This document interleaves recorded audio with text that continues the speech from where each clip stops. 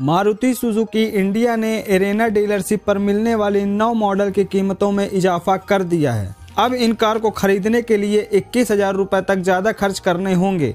Company ने जिन जिन मॉडलों की कीमत में इजाफा किया है, उसमें सबसे सस्ती अल्टो से लेकर Alto K ten, Espresso, Celerio, Wagon R, Swift Dzire, नई नवेली ब्रेजा और आर्टिका भी शामिल है। कंपनी ने दिसंबर 2022 में ही अपनी कीमतों को बढ़ाने का ऐलान कर दिया था। वहीं 15 जनवरी तक कंपनी कई मॉडल्स पर शानदार ऑफ़र दे रही मारुति ने किस मॉडल पर कितने रुपए तक का इजाफा किया है, चलिए हम आपको बताते हैं। मारुति की सबसे सस्ती कार अल्टो को खरीदना पंद्रह हज़ार रूपए तक महँगा हो गया है।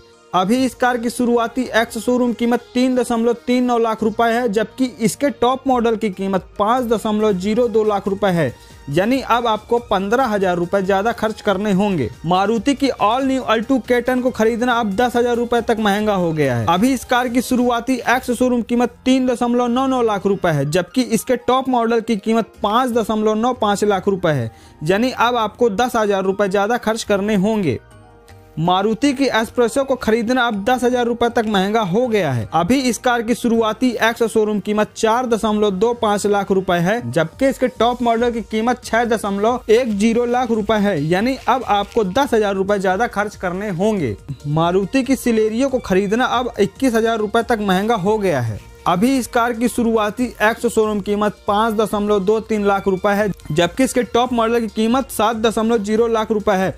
यानी अब आपको इक्कीस हज़ार रूपए ज़्यादा खर्च करने होंगे। मारुति की टॉप सेलिंग और 2022 की number one car Wagon R को खरीदना अब इक्कीस हज़ार नौ सौ रूपए तक महँगा हो गया है। अभी इस कार की शुरुआती एक्स शोरूम कीमत पाँच दशमलव चार सात लाख रूपए है, जबकि इसके टॉप मॉडल की कीमत सात दशमलव एक नौ लाख रुपए है। यानी अब आपको इक्कीस हज़ार नौ सौ रूपए ज़्यादा खर्च करने होंगे। मारुति की स्विफ्ट को खरीदना अब इक्कीस हज़ार रूपए तक महँगा हो गया है। अभी इस कार की शुरुआती एक्स शोरूम कीमत पाँच दशमलव नौ एक लाख रुपए है जबकि इसके टॉप मॉडल की कीमत आठ दशमलव आठ चार लाख रुपए है। यानी अब आपको इक्कीस हज़ार रूपए ज़्यादा खर्च करने होंगे।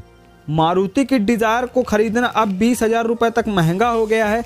अभी इस कार की शुरुआती एक्स शोरूम कीमत छह दशमलव दो तीन लाख रुपए है जबकि इसके टॉप मॉडल की कीमत नौ दशमलव एक सात लाख रुपए है। यानी अब आपको बीस हज़ार रुपए तक ज़्यादा खर्च करने होंगे।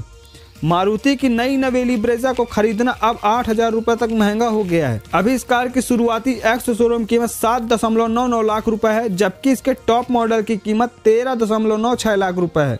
यानी अब आपको आठ हज़ार रूपए तक ज़्यादा खर्च करने होंगे। मारुति की अर्टिगा को खरीदना आठ हज़ार रूपए तक महँगा हो गया है। अभी इस कार की शुरुआती एक्स शोरूम कीमत आठ दशमलव चार एक लाख रुपए है जबकि इसके टॉप मॉडल की कीमत बारह दशमलव सात नौ लाख रुपए है, यानी अब आपको आठ हज़ार रुपए ज़्यादा खर्च करने होंगे।